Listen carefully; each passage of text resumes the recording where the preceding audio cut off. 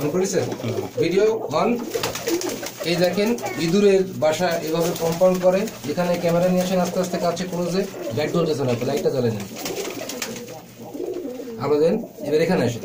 এখানে আসেন এবং দেখেন, এটাকে আমি সরিয়ে দিলে এর তলে ইঁদুরের বড় ইঁদুর বেরিয়ে গেল এবং ছোট দুটি বাচ্চা এখানে বসে আছে, তাদের চোখ পড়েনি তারা এখনও দুনিয়ার আলো দেখতে পায়নি, হয়তো দু একদিনের মধ্যে চোখ ফুটে যাবে।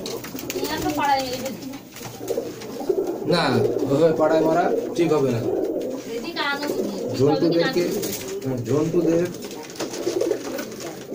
ওর মা দুধ খাওয়াচ্ছিল ওখানে আচ্ছা সাইড থেকে দেখেন এদের চোখ চোখটাকে দেখানোর চেষ্টা করেন। এরা ময়লা ভিতরে ঢোকার চেষ্টা করছে। এই দেখেন, এদের চোখ ফোটা নিয়ে এদের চোখ হয়নি, এরা অতি ছোট।